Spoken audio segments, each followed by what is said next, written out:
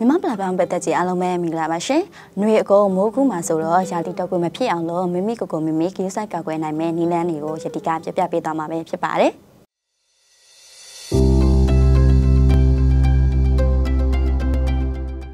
နံပါတ်1လူစုလူဝေးဖြစ်မဲ့နေရာတွေကိုရှောင်ရှားပါလူစုလူဝေးဖြစ်မဲ့နေရာတွေကိုသွားတာဖျားနာသူတွေနဲ့ထွေးထွေးမိတာဟာတုပ်ကွေးကူးစက်နိုင်ခြင်းကိုပုံမမြင့်တက်စေပါတယ်ဒါကြောင့်ဖျားနာသူတွေနဲ့ခက်ဝေးဝေးနေပါလူစုလူဝေးဖြစ်မဲ့နေရာတွေကိုလုံးဝမသွားမိပါစေနဲ့ နံပါတ်1ဗစက်နဲ့နှာခေါင်းကိုတေချာဖုံးအုပ်ပါ။နှာချီတဲ့အခါချောင်းဆိုးတဲ့အခါမှာဗစက်နဲ့နှာခေါင်းကိုတီရှူစာနဲ့ဖြစ်စေဒေါင်းနဲ့ဖြစ်စေတေချာဖုံးအုပ်ပေးတာကအခြားသူတွေကိုယောဂဘိုးကုသနိုင်ခြင်းမှာကာကွယ်ပေးနိုင်ပါတယ်။ဒါကြောင့်နှာချီချောင်းဆိုးတဲ့အခါမှာတေချာဖုံးအုပ်ဖို့မမေ့ပါနဲ့။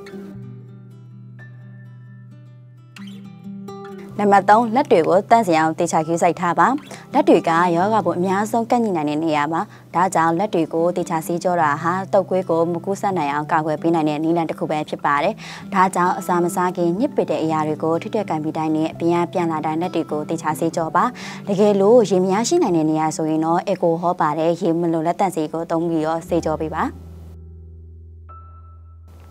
နံပါတ်၄ရင်နာတဲ့အစားအစာစားခြင်းမှရှောင်ကြပါအခုလိုမိုးရသည်မှာရင်နာတဲ့အစားအစာတွေကဝမ်ပြန်ဝမ်ရှော့ကိုဖြစ်ပေါ်စေနိုင်ပါတယ်ဒါကြောင့်မိမိစားမယ့်အစားအစာတွေကိုအုပ်ဆောင်နေဖြစ်စေတေချာဖုံးအုပ်ထားပေးပါ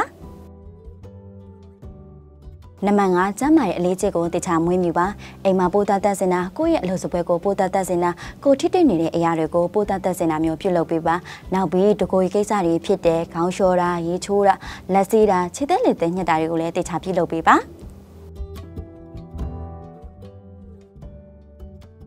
ဒီလိုရည်တည်ပြောပြတဲ့အချက်တွေကိုသိချလိုက်နိုင်မယ်ဆိုရင်တော့တုတ်ဝေးရတီမှာကျမပျော်ရွှင်စွာနဲ့ဖြတ်သန်းနိုင်မှာပဲဖြစ်ပါတယ်။နောက်တစ်ပတ်ဒီမှာလည်းဘလို့ကျမရဲ့အကြောင်းကနေတင်ဆက်ပေးမယ်ဆိုတာကိုစောင့်မျှော်ကြည့်ရှုပေးကြပါရှင်။အားလုံးပဲတက်တာ။